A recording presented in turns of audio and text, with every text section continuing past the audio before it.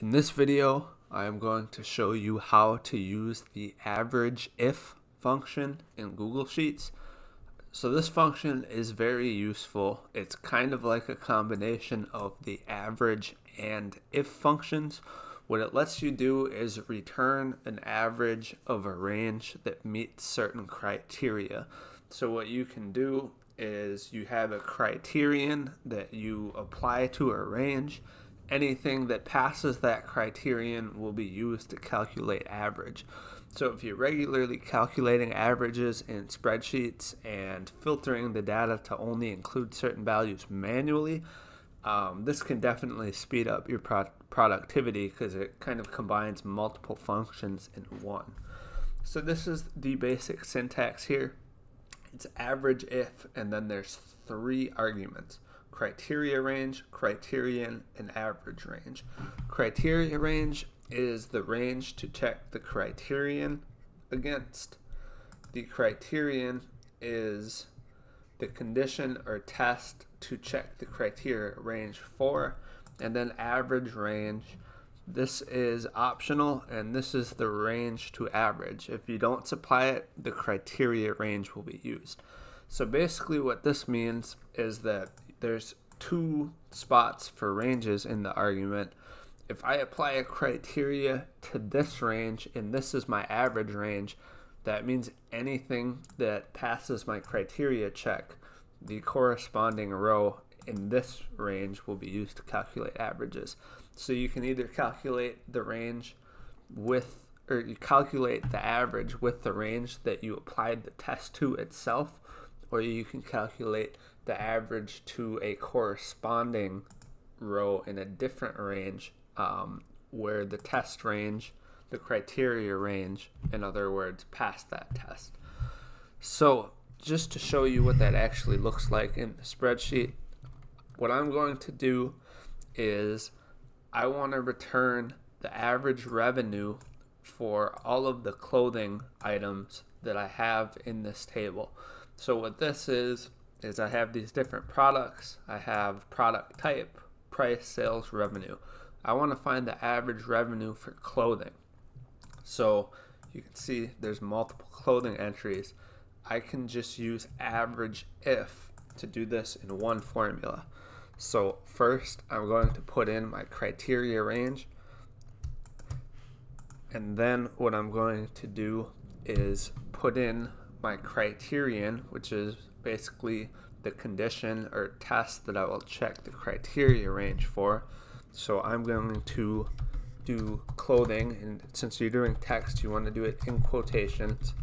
So clothing, and then for the ones that match clothing, we're going to end up averaging the revenue column.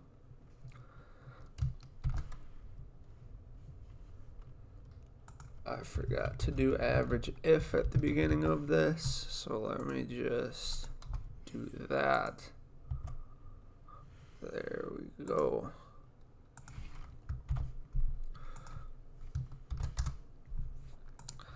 So I have my criteria range, the criterion, and then the range that I'm going to average.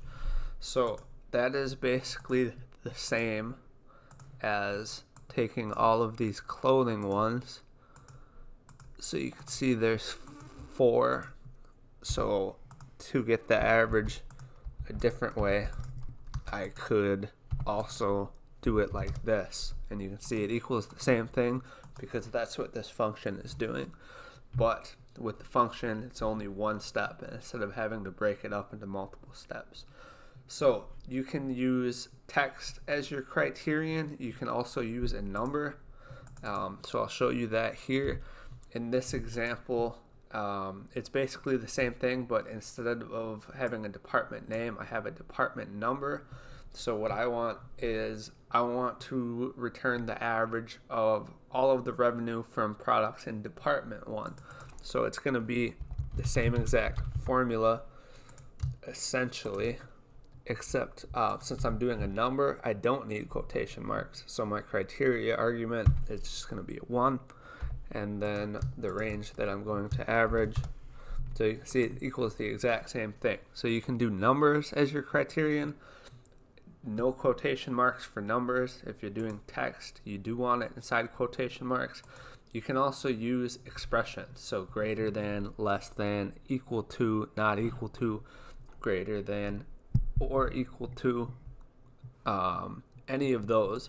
So in this example, what I'm going to do is I'm just going to return the average um, revenue for all products that have sales greater than zero, which in this example is all of them, but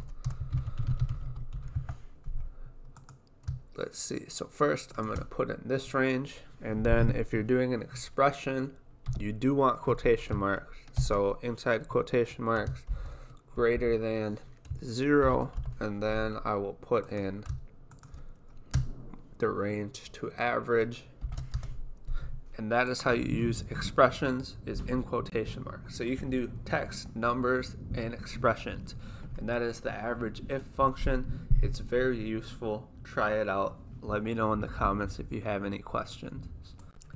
Thank you for watching the video. If you haven't already, make sure to hit the subscribe button. If you have any questions or content suggestions, just let me know in the comments and I'll try my best to answer everyone.